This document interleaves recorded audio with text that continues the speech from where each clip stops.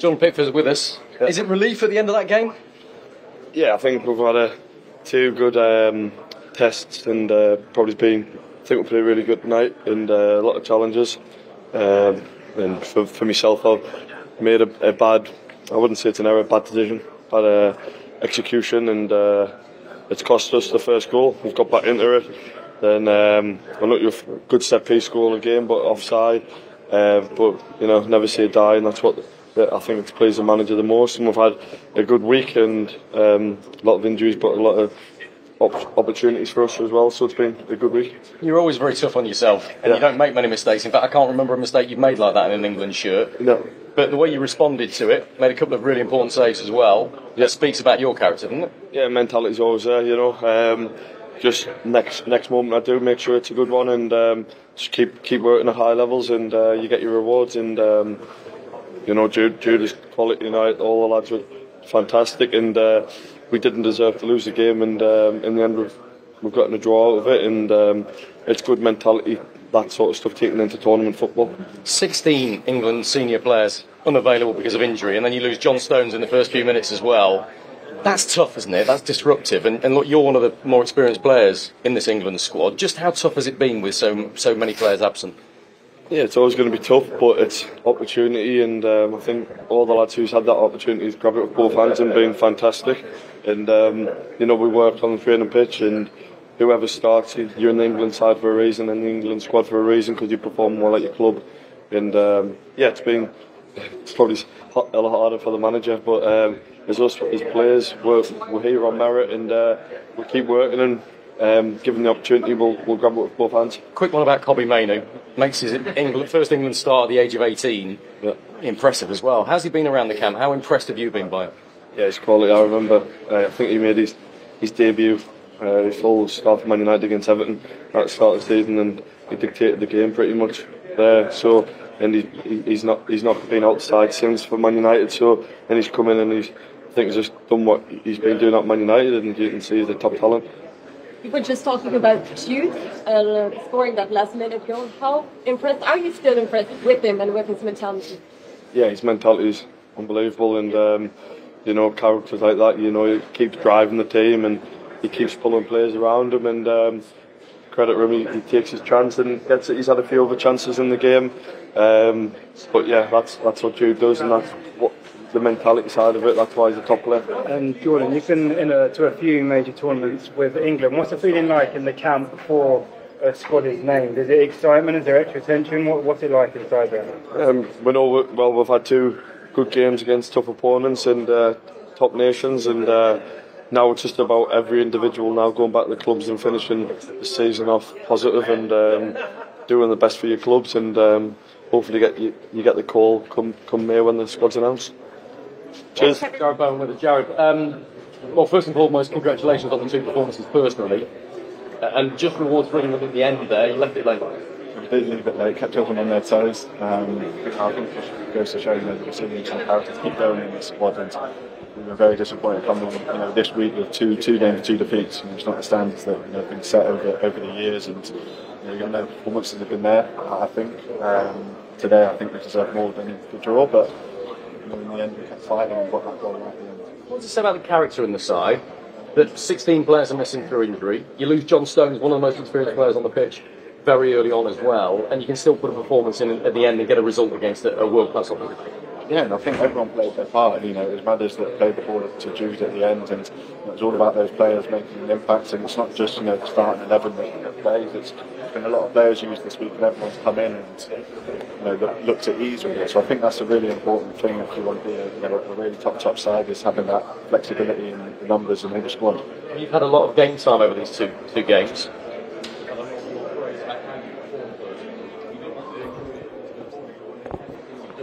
You given the manager something to think about when, when he gets next thinks about the Euros? I'd have enjoyed it more if the goals did.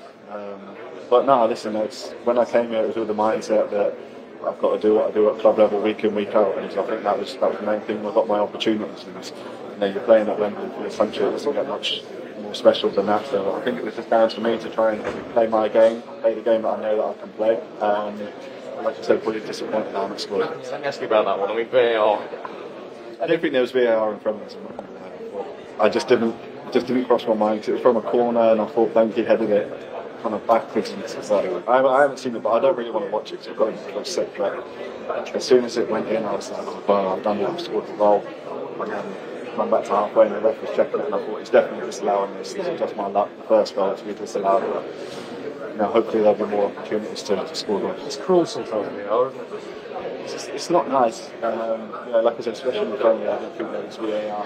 Like I said, it's been across my mind and the way the goal happens. Sometimes you can get you know a feel for it. You know, if a cross comes in and you make a run in behind, you can make a feel that you know it might be offside here. But I don't- honestly just didn't have any inkling that it was going to be offside from the corner. But you know, just got to try and keep, keep going.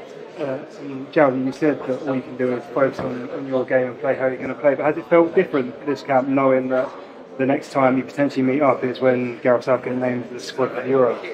No, I think I think I spoke to someone after our Villa game when you know before I came into this camp and said that you know I just want to keep doing what I've been doing for club level and bring that here. Um, and, you know I can you know I can play my football on, on the biggest stage, and I think that was that was these two games for me were just I didn't know how long I was going to get any of the games. So when I got the opportunity, it was you know down to no one else. It was down to me to go out there and play my game. You know, not hide from the occasion, so to speak, and try and take it all in and show what you can do. And I feel like the two games I've showed that I can do. Your performances have been really positive, had, had good feedback. What, what would it mean to you if you were named in that training? Yeah, no, uh, special. I just said that playing at for Wembley for your country is special, to go to a major tournament would obviously be another level. But you know, like I said, it's down to, back to West Ham now and finishing the season really strongly, um, doing all I can, you know, not coming off the page that I'm on now, um, having a good over to the season and seeing where the squad takes me.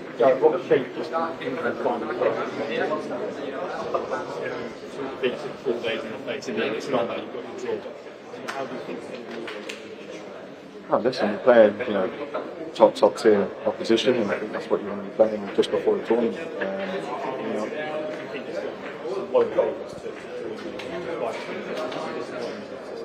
And I think you can always look at the. You, know, you spoke about the injuries at the start, and missing key key players, and put out the performances that we've done over the last two, and especially at that, I think there's a lot more.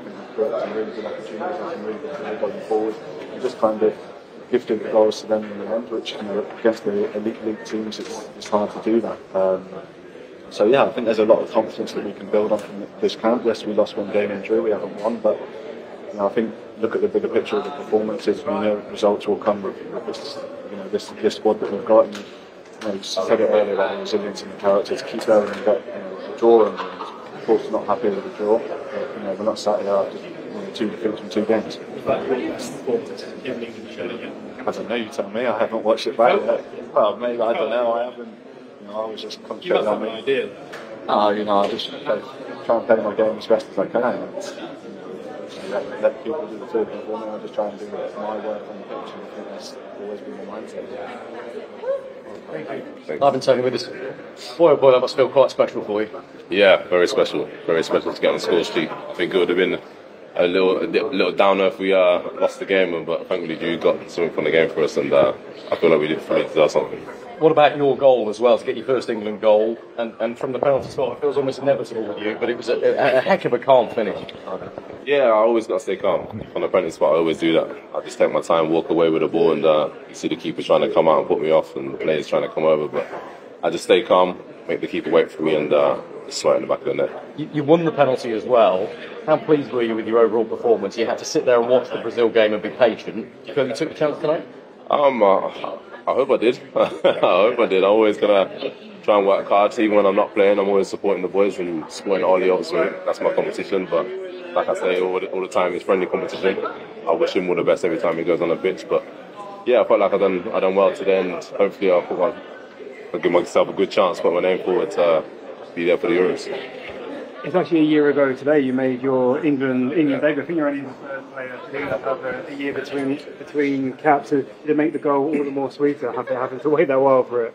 Yeah, I didn't know actually. Peter Beardsley messaged me this morning and actually said you made your uh, debut a year ago today, so that's something I didn't know. But yeah, I think it's extra special a year later.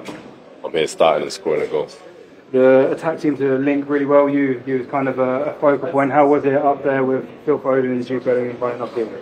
I mean, with them top class players around me, it's always going to be easier. Um, I think, like you see for the penalty, Jude just sliding the balls down the, down the corner and Phil playing into my feet and running off me and these kind of things. It's it's a joy to play with these players, and I'm sure, hopefully, I can play with them a lot more. And Kobbie Mainoo also made his first start just 18. Wondering what you you made of his performance. Yeah, I think at 18 I was probably playing Xbox, but you, he's out here being a, being a man and playing playing for England, and he carries himself very well. He just glides with the ball, and uh, there's a lot more to come from him, I'm sure, and I'm, I'm sure it goes right to the top. Ivan, one more quick one. After all you've been through, we know how tough times have been for you. To get back and, and playing for England and scoring your first goal for England, how special? Is this the sort of thing you were thinking about and dreaming about when you weren't allowed to play for England? Yeah, hundred percent. Um, I always think positive. Obviously, there's down times, but you got to think forward. There's no point thinking of things that I can't change. What's done is done, and now I've got to think forward, and hopefully, I can put things right and be positive. Well, that's Great to see you. Thanks. Sorry.